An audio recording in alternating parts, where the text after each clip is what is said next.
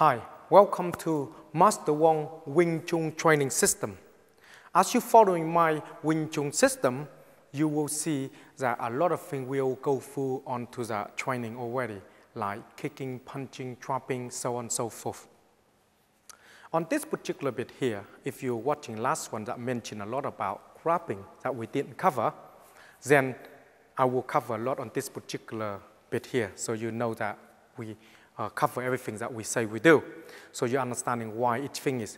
On this bit here, we show you quite a few important things in the Wing Chun side. When it grabs you, what you do, how you deal with it. In the Wing Chun side, you don't need to make a fuss about it. You don't need to make a fuss about the grab. You do this, you do that. Very simple to do. Very easy to do. If you're doing all our basic training on this, you will see that so simple because you're using a lot of ways limited your body down and using certain part of the joint. And that is unique about the Wing Chun system. Let me show you here so you know exactly what everything is. Let me borrow your time. Now, as the first uh, couple lot that we talk about on one of the series that we mentioned when you're doing the punching and then the grab. Now, this is not a grab tight. This is not like hard, uh, normal grab. It's very difficult even move like this. It's very difficult. So when you're in here, two things you need to learn about this Wing Chun system. Don't make a fuss about this and you can't. Did you forget what I told you? It's the woman designed this. So, grab tight, see? All I do is this. Where, what are you going to do here? Huh? Grab tight. Hmm. I don't move anything. Grab tight. Grab tight. So the idea is don't need to make a fuss about that. Now, some of you may be not strong enough. You're thinking I do a lot of martial because I'm the master. I can do that. Then it's all right. I will go forward you if you're not. So if you're here, load this hand down like this. So grab tight, you turn, and then this elbow come across like this. Grab tight, see? Elbow like this. Make sure the line into here like this and drop it down. Grab tight, see? See? Break. See? Break. Very simple. See? That will be break straight away. Nothing special. Now, this is more, a lot of time you will get in. So let me go through this. So that will cure that particular part so you know why. And we'll move on a lot, a lot of this. So don't need to worry about it. So when you start to learning, like I mentioned to you before, on the form, okay, we haven't covered yet, maybe or not yet on this, but if you want to know more about the form side, you can get a DVD that show you. It's a lot to do with your wrist here like this, to learning, to get that strong. Without this bit strong, very difficult for you to move in your body around because you need them to do a lot of work with it. Without this movement, you find very difficult. A lot of time when you're attacking, this is what happened. I have one hand, he have one hand. This is, this is natural. This is what you're going to get. How to go in the Wing Chun man, as you know, they don't like to go down the ground. Good Wing Chun people are not going to go down the ground. Don't matter how he's wrestling with me, I'm not going to go down around because I'm going to boom, I'm going to hit him because I want to go in the center of him. See, I'm going to wrestle him, boom, boom, I go in to bury him. So the idea is if I'm wrestling here, turn, boom, I go in there turn kaput him. But I still got have this hand. So whatever you do with this hand, don't too busy here and then let go of this and he can boom you in the face. And next thing you know, you got a big black eye here, and then you wonder why your Wing Chun is rubbish. Because you didn't follow my advice, did you? You probably learned from somebody else's, and they said, "Oh, you, you, you do this, you, you do this." Do you think he will stand there for you to do that? Oh, you need him to go in. Do you think you can get into the going? Do you really think that? Do you think, oh, I can headbutt him here? Oh, oh I can hit him in the face. Oh, I can poke in the eye. In our system, safety for yourself must come first because you need to understand there's only one of you. If you are doing the called suicide mission, going to suicide, then you're wasting your life for nothing. So why you learning a martial art? Martial art means have skill. Skill or neutralize and learn them, not suicide. Safety for yourself must be number one. Meaning, when I that happen to me, safety first. Boom, I hit him. Boom, here. Safety first. From here, hit me. Yeah, that's fine. Yeah, I can control that. Because in the close range here, uh, in here, line. If you grab tight, I got problem, that's fine. I'm gonna bury him so fast that his mom can't even find the coffin for him to go down.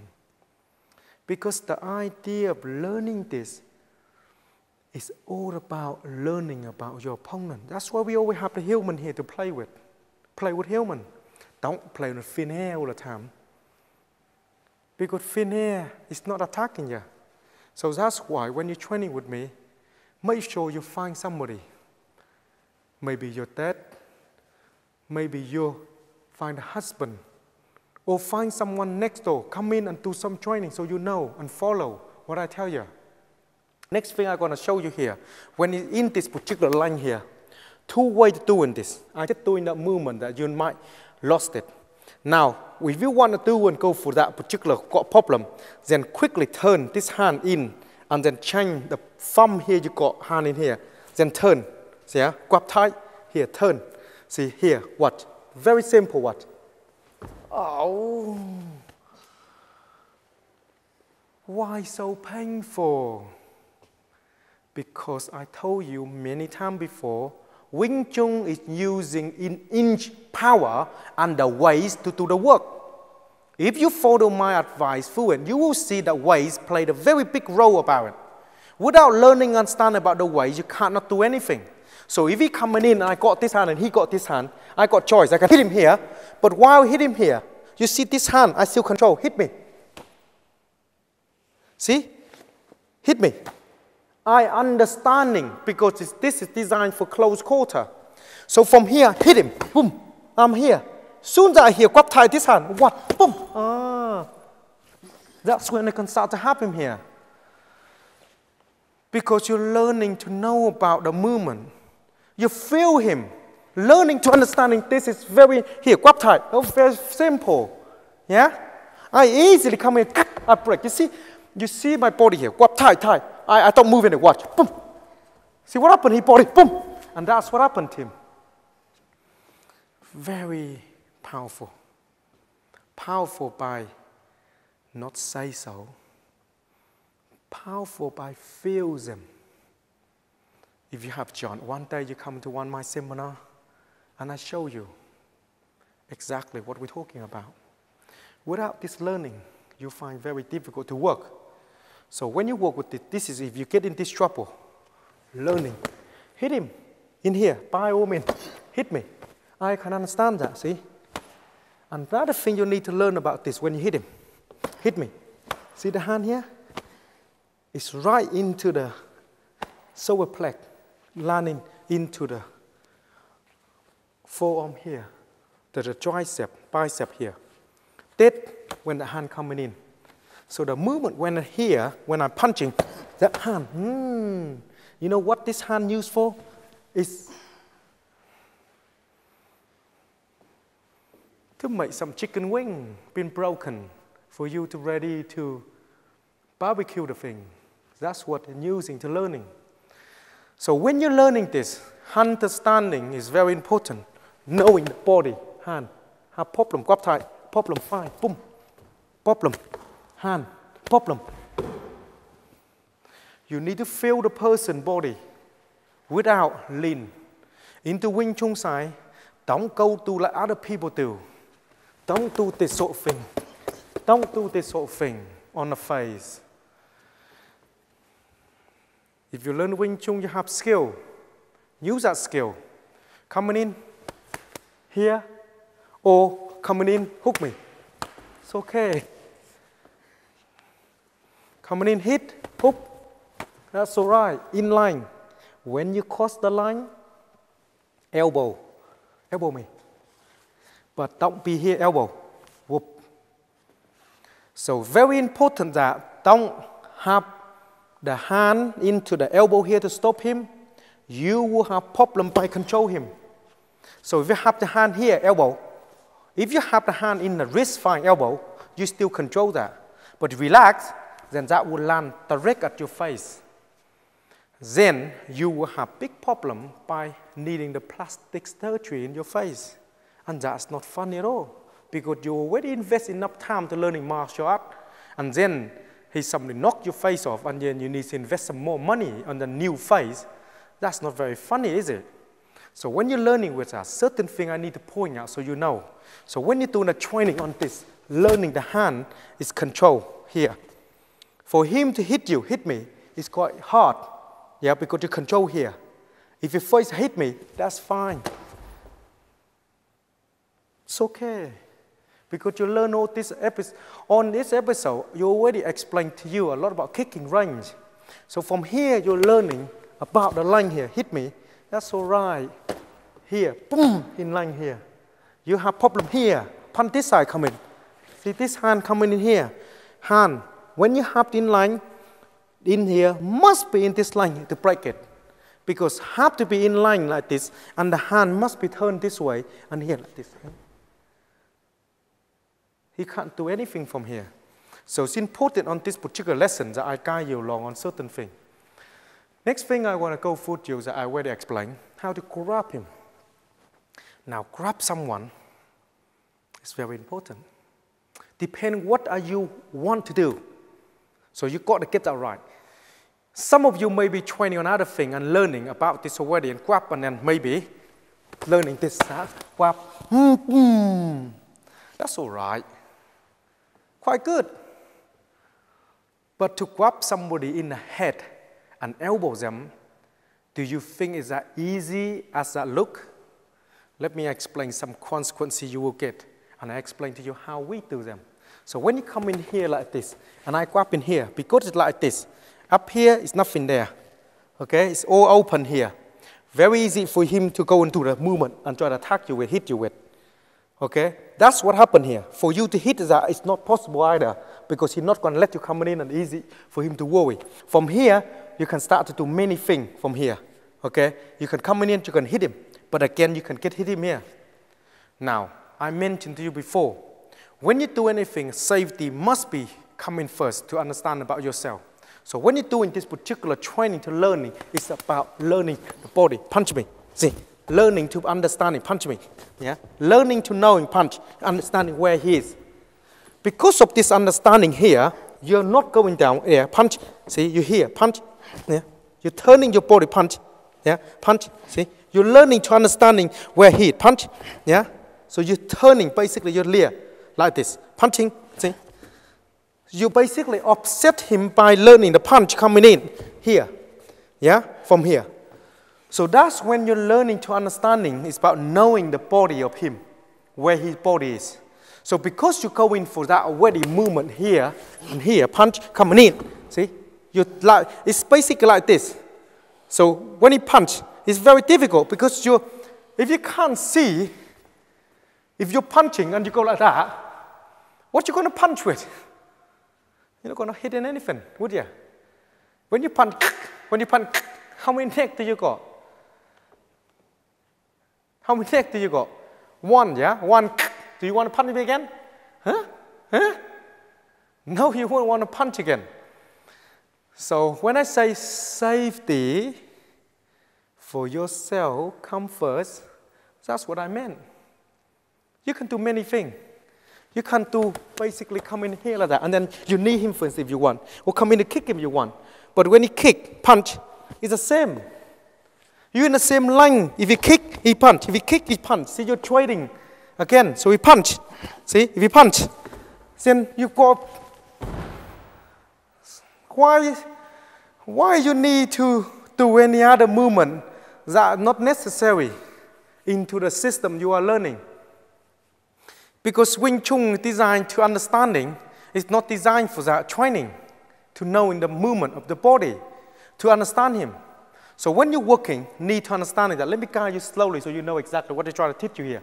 So when you understand the line here, this hand down, Yeah, this hand land first. One, boom on the throat, dropping down here, so in line.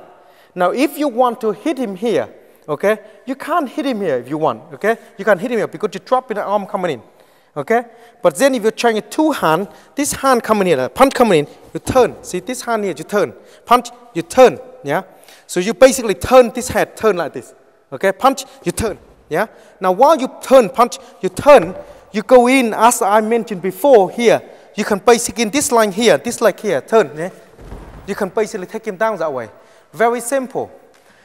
Or you can basically work on this particular line like this. Come in, punch, come in here, and then palm to the face here. Punch this side, come in here, on the face here. Okay, many things you can do. Sometimes you maybe some of them when you drop and then you hand run eyeball like this. So maybe come in here like this instead of grab that, you just grab right eye. So this way, for instance, so you can see right eye like that if you want.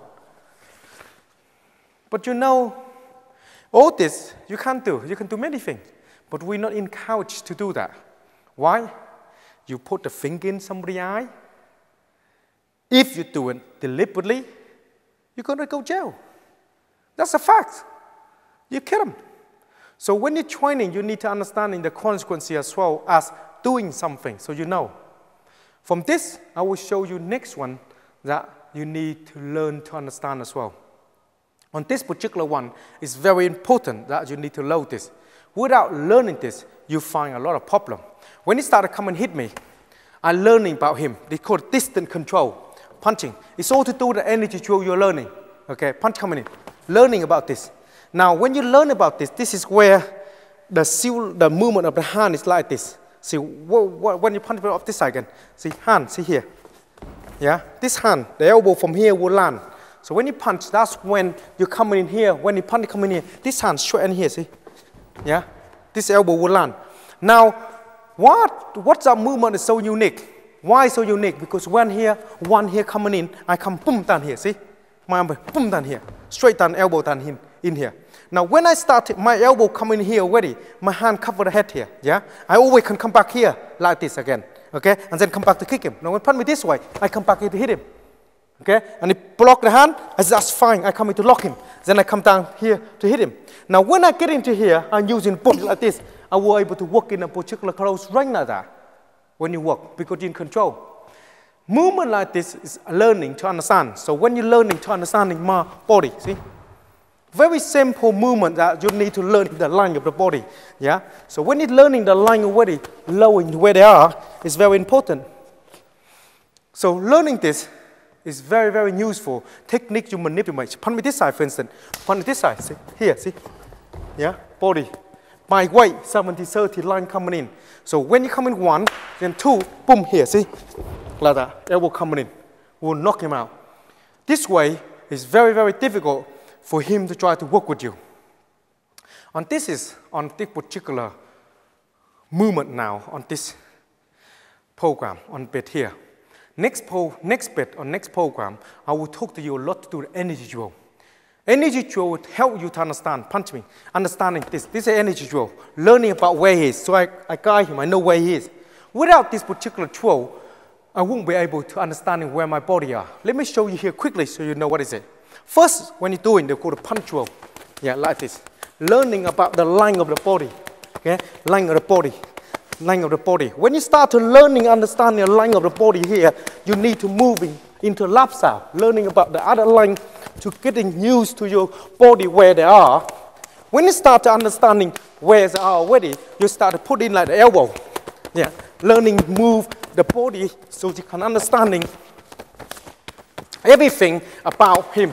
From here, I can basically come into kick, I can basically come in to move my body, I can possibly punch, and I come in to trap him, for instance, and try to work with him. So from particular this energy drill, help me to understanding a lot about the person because I can manipulate my body in time. That's why I can move, move fast like that, fast hit here. Yeah, because I understand the zone of him. Thank you for that. So it's important to knowing what is all about. On this particular training, it helps you to find where you are. If you start to find where you are, then it becomes easy for you to locate your body. If you can't find where your body are, it find very difficult to locate your own body. Okay, that's important. Spend some time practice at home and make sure that you find somebody with you so you got a real person even though you're moving around. Maybe made a mistake when you're punching wrong. At least you learn the reaction and knowing how to move. And remember, if you are serious about this training, you must invest in some equipment so you can really do something. Otherwise, there's no point doing it because when reality comes, your body cannot neutralize what you're learning. Thank you for watching, and I will see you again on next episode.